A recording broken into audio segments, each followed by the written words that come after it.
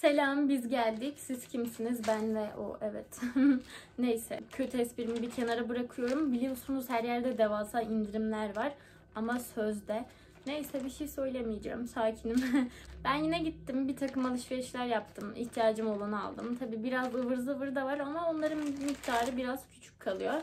Neyse alışverişimi yaptım. Şu şekilde gratis ve eveden alışveriş yaptım. Gratis'ten toplam 135 lira, eveden de 95 liralık bir alışveriş yaptım. Pişman mıyım? Evet pişmanım ama yapacak bir şey yok. Neyse indirimden aldıklarıma bakalım. Ee, önce eve alışverişimi size takdim etmek istiyorum. Şu şekilde tek bir poşete doldurdum hepsini. Ee, öncelikle Otacı'nın bu gül suyunu aldım. Şu şekilde göstereyim hemen. Bunun fiyatı 30 lira. Bunun normal gül suyunu kullanıyordum ben ve memnun da kaldım açıkçası. O da bitmek üzereydi. Dedim ki sprey olanını alayım daha rahat ederim diye düşündüm.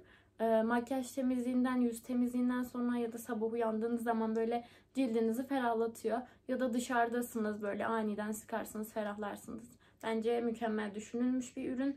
Bunu deneyeceğim. Instagram hesabımda da deneyeceğim, yorumlayacağım bu arada. Beni oradan da takip etmeyi unutmayın. Ee, artık Instagram'da aktif olmaya karar verdim bu arada. Biraz içeriklerimi biriktirip hemen hepsini paylaşacağım. Garnier'in deodorantını aldım. İçerisinde alkol olmaması beni çok sevindirdi. Güzel, iyi anlaşacağımızı düşünüyorum. Ben zaten bunun farklı bir versiyonunu denemiştim. Ee, Garnier'in tüm deodorantlarını denedim bu arada. Belki bunu da denemişimdir, hiç hatırlamıyorum. Ee, bunun fiyatı da 80-90 lira gibi bir fiyattı ama 50 liraya mı geliyordu? Hemen kontrol ediyorum. Evet 50 liraya geliyordu. Artık deodorantlar ne kadar pahalılaştı ya. Neyse yapacak bir şey yok. Daha sonra e, Sleepy'nin günlük pedini aldım. Bu da 15,5 liraydı. Bu arada hani gayet güzel yani fiyat performans diyebilirim. Mutlaka deneyin. E, Sleepy markası pedlerin arasında en uygun fiyatlı olanlardan ve bence gayet de güzel yani. Öneririm. Evet eve alışverişim bu kadardı. Şimdi beni mahveden o gratis alışverişine geliyoruz.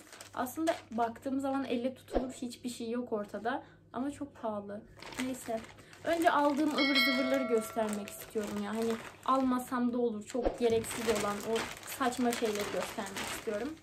Yara bandı. Evde yara bandı yok ve ben her yerimi kesiyorum sakar bir insan olduğum için. Yara bandı da 4,5 liraydı. Hem suya dayanıklı hem de şeffaf yani 4,5 lira.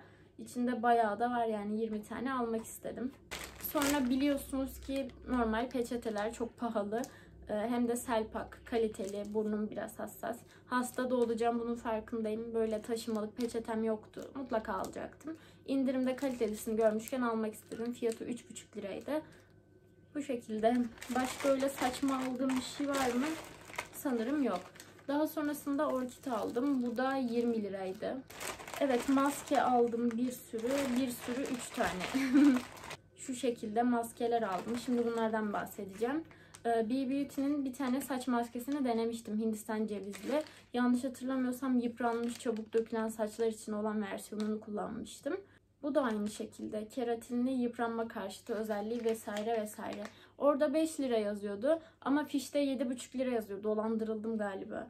Neyse yapacak bir şey yok. Bunların hepsini zaten sizinle e, deneyip paylaşacağım. Instagram'da ve özellikle TikTok'ta beni takip etmeyi unutmayın. Desteklerinizi bekliyorum. Neyse bu da bu şekilde. Bu arada saç ve yüz maskelerinde devasa indirim var diyebilirim. 5 lira, 7,5 lira, 10, 15 lira. Gerçekten şaka gibi. Özellikle e, bu Ziyaja'nın e, keçi sütlü yüz maskesini çok denemek istiyordum şu şekilde. Çok kaliteli çünkü. Bu da 19 liradan 11 liraya düşmüş. Bu markanın ürünlerini de sevmeye başladım yavaş yavaş. Bakalım umarım bir faydasını görürüm. Sonrasında B Beauty'nin ikili yıkanabilen bakım maskesini aldım şu şekilde. Bu aloe veralıydı. Kuru ciltler için cilde tazeleyici ve nemlendirici bakım sağlıyor.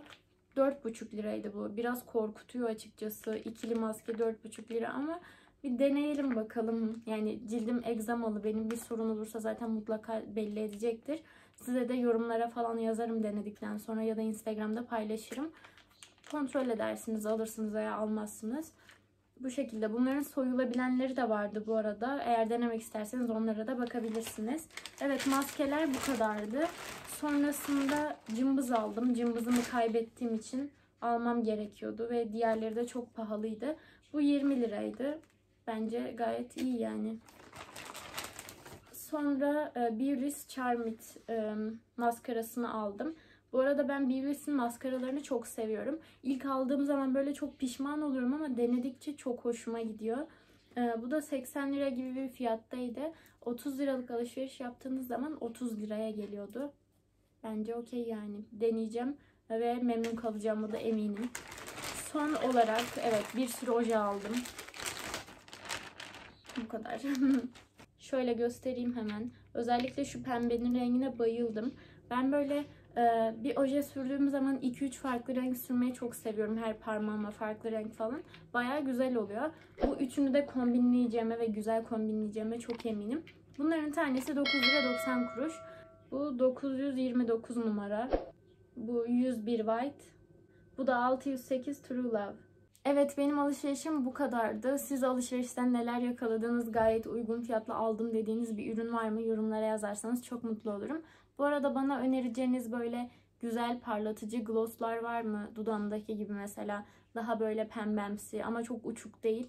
Hafif tonlarda varsa yorumlara bırakırsanız çok mutlu olurum. O zaman bir sonraki videoda görüşmek üzere.